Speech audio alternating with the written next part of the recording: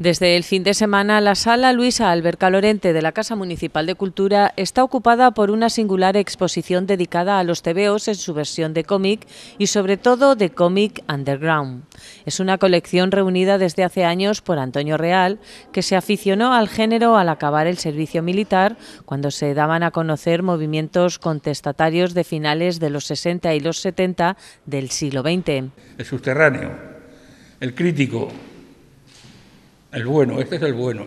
Los otros son, como hemos ido viendo, nada ya, nada ya japoneses que no nos dicen nada, mucho manga y todo eso, pero de crítica social y eso, cero. Nada de marginal.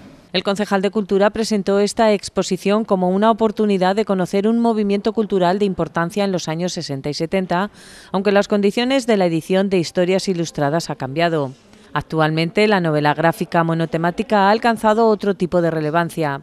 Los dos ejemplos más recordados son Persepolis de Irnaí Maharne Satrapi o Maus de Art Spiegelman, premio Pulitzer 1992. Eh, Maus fue premio Pulitzer y de hecho esto ya muestra como una buena historia, de igual que esté sustentada solamente en lo que es el lenguaje escrito, como puede ser apoyado en una historia gráfica, puede ser de una gran calidad literaria. Y tenemos hoy día, es verdad, lo que decía Antonio por otro lado, lo que es el cómic en realidad es exclusivamente el cómic, pero lo que es en historias gráficas, desde ahora 15 años sí que tenemos una variedad de contenidos y de calidad.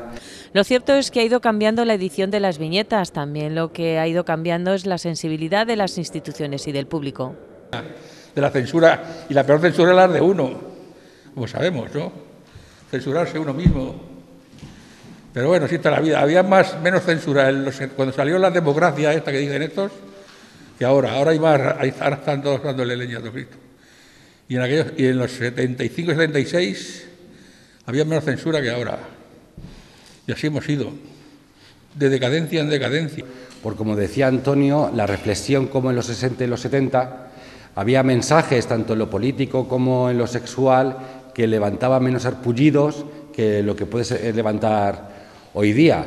Y es verdad que siendo underground, que no era eh, para masas, pero sí es verdad que tenía una clientela fija y una edición, publicación y distribución que hoy día eh, puede ser difícil. La original colección que se expone en el salón de la primera planta de la Casa de Cultura es una selección de copias de portadas y viñetas realizadas por Real o ejemplares completos de aquellos tebeos y novelas ilustradas.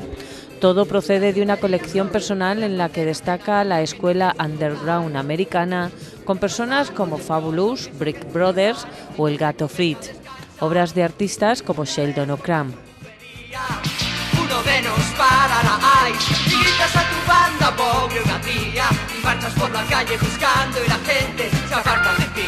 Se aparta de ti, se aparta de ti, se aparta de ti,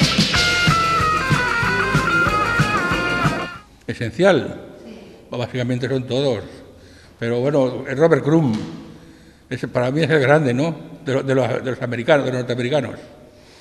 Robert Crumb es un, es un, es un genio, muy crítico también con la sociedad tiene muchos tebeos que, que, pone muy verde a, su, a, donde vive, en la sociedad que vive norteamericana, muy grande. Y luego ya te digo, ya están, pues eso, los catalanes también interesantes. También pueden conocerse cómics más convencionales dedicados a la ciencia ficción o al terror. Y la escuela española está bien representada por revistas como El Víbora o Cairo, que dieron a conocer a personajes de los 70 muy peculiares. Uno, Makoki, hasta tuvo su canción el enemigo público número uno. el enemigo público número uno. Personaje de Makoki es un delincuente. Es pero es un personaje que nos mete los bajos fondos del barrio chino de Barcelona, con sus amigos y tal. A mí siempre me han interesado los, bajos fondos, porque son los que tienen algo que decir. Nos demostraban, nos entrenaban, nos, nos decían una sociedad un poco rara que pasaba y que no lo veía la gente, ¿no? Porque además los medios no les interesaba tampoco sacar aquello, aquella, digamos, suciedad de alguna manera, ¿no?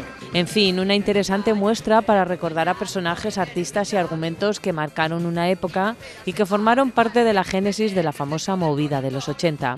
Puede visitarse hasta el día 4 de diciembre.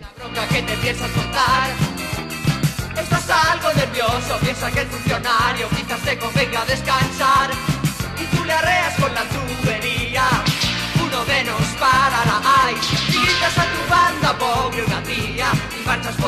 buscando y la gente se aparta de ti, se aparta de ti, se aparta de ti, se aparta